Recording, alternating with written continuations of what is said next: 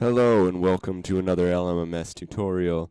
In this tutorial I will be teaching you about the arpeggiator. As you can see right here I have triple oscillator open and I already have the arpeggiator up. I'm going to start with stacking. Um, stacking, basically what this is, if you have it on, when you push a button down here, it'll play chords. So it'll play like the minor chords in whatever um, range you have, it'll play like up and down in, instead of playing notes as an arpeggio. It'll play minor chords, going up and playing minor chords.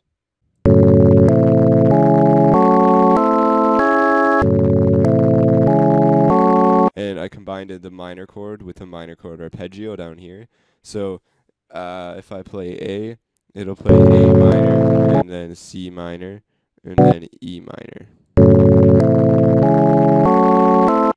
and then it'll just keep going be up um two octaves because I have the range of my arpeggio on two octaves. So that means it goes up 12 notes and down 12 notes. I mean up 24 notes and down 24 notes. Each octave is 12 notes. And I have my direction set to up so it plays up the scale instead of down the scale. And you can go ahead and switch your chord to any chord you want in here. I just have mine on minor. And you can switch your direction and your mode. We'll get to all that in a second, but first, the range of your chord. If you have the range up, it'll play the chord on multiple octaves. Okay, direction. Uh, you can set it on up, down, up and down, random, or down and up. I am going to go ahead and set mine to up and down. Uh, the names are pretty self-explanatory if you have random, it just plays uh whatever you have the arpeggio playing in just a random order. Um, I'm gonna set it to up and down, and this time right here is how long it takes to play through the whole arpeggio. You can either have it really slow or really fast.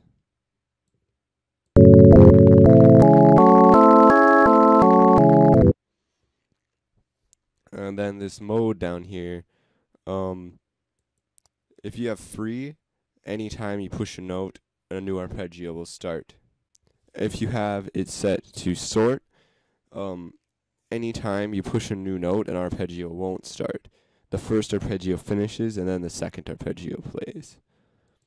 And if you have sync, if you push two buttons at the same time, an arpeggio will start start on both of those buttons.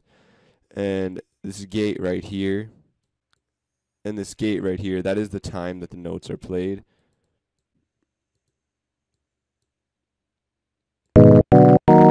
As you can see there, there it has shorter times, and they don't hold out as long. If you have it up, it has longer times. And they overlap a bit. So this is a very nice tool to use in your songs. Um, I hope you learned something from this video. Thanks for watching. Remember to comment, rate, and subscribe. See you next time.